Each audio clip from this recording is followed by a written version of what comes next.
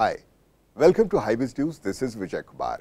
In a move that will mark the beginning of a new era in India's genomics capability, Nucleome Informatics unveiled South Asia's largest and more advanced genomics facility, NKC Center for Genomics Research in Hyderabad.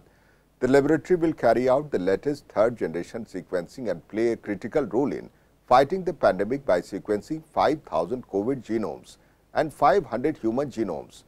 The laboratory established in the memory of the late six-time member of the parliament from Khandwa, Sri Nand Kumar Singh Chauhan, will also play a role in upping India's potential in agriculture, animal husbandry and personalized precision medicine among others. Honorable Minister of Defence Sri Rajnath Singh along with Honorable Chief Minister of Madhya Pradesh Sri Shivraj Singh Chauhan inaugurated the state-of-the-art laboratory at a formal ceremony held at Le Meridien in the presence of Sri Dushyant Singh Baghel, MD and CEO Nucleome Informatics. Honorable Principal Scientific Advisor to the Government of India, Professor K. Vijay Raghavan also attended the event.